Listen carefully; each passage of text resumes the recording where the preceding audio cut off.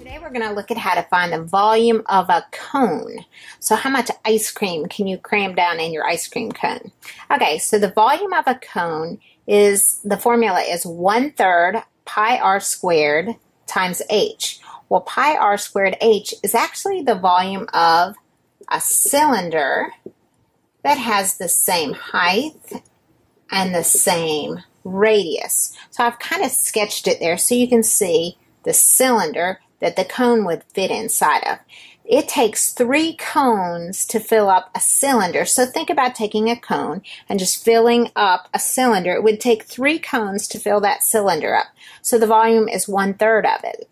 Okay, now let's look at this formula. So we just need to know the radius and the height because those are my only two unknowns. So in this diagram, I have a radius of my base that is 6. So I'm going to plug in 6. And a height that is 10. So I'm going to plug in 10. And then we're just going to plug and chug from there. So let's simplify our area of the base, which is pi r squared. It's the circular base.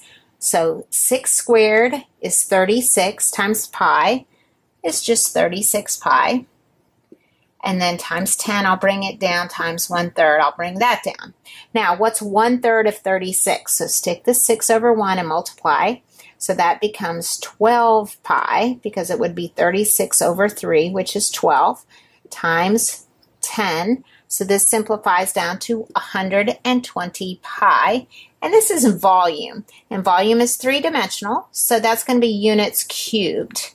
So whatever your unit measure is, you cube it. And that is how you find the volume of a cone. And it takes three cones to fill up a cylinder with the same radius and the same height.